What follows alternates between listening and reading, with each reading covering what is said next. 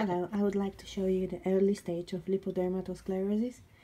It's uh, when the uh, skin is uh, dying.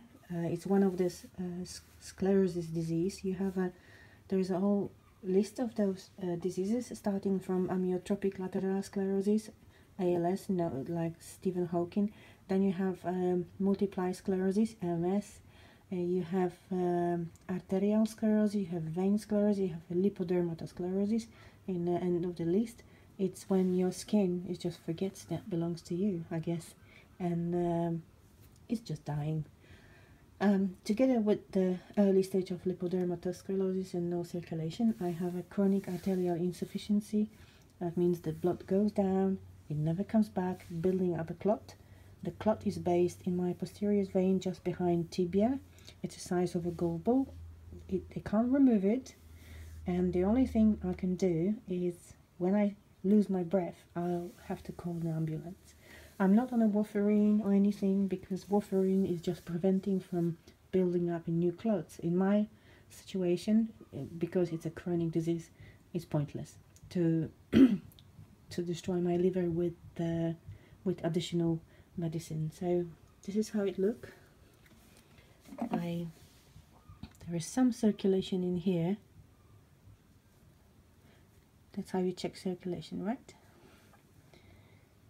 Um, there's there's no there's no circulation here but what we're looking for is like when you press and you stop the blood for circulating you want the blood to come back very very little.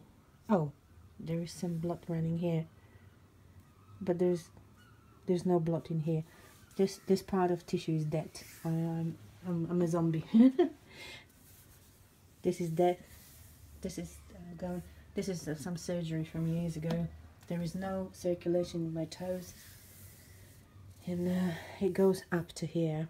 The, the, the, problem starts with my femoral artery which which is um, which has a problem. So that's how it looks. Lipodermatosclerosis there's no cure for that.